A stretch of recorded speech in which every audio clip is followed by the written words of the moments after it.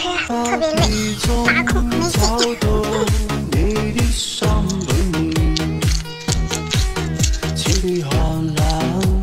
们便秘比较严重，或者是你们肠胃比较好的啊，都可以早上空腹就给他喝一条。然我再你们说一下果冻是干嘛的，果冻就是你们经常饮食不规律啊，老是坐着的，或者是好几天不排的那种，或者穿想要穿漂亮衣服的。都可以去喝的啊。这果冻啊，七十九块九是给你们发酒喝的啊，到手是九盒。有需要的去拍就行啊。还有就是你们收到货有任何问题啊，不明白随时来找我就行啊。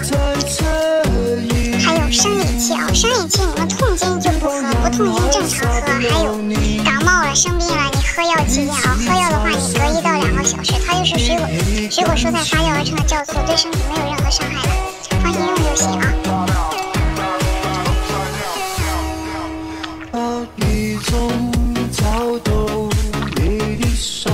喝完一定记得喝水啊，水的话是关键啊，水一定要喝到位啊。白天的话，水尽量多喝一些啊。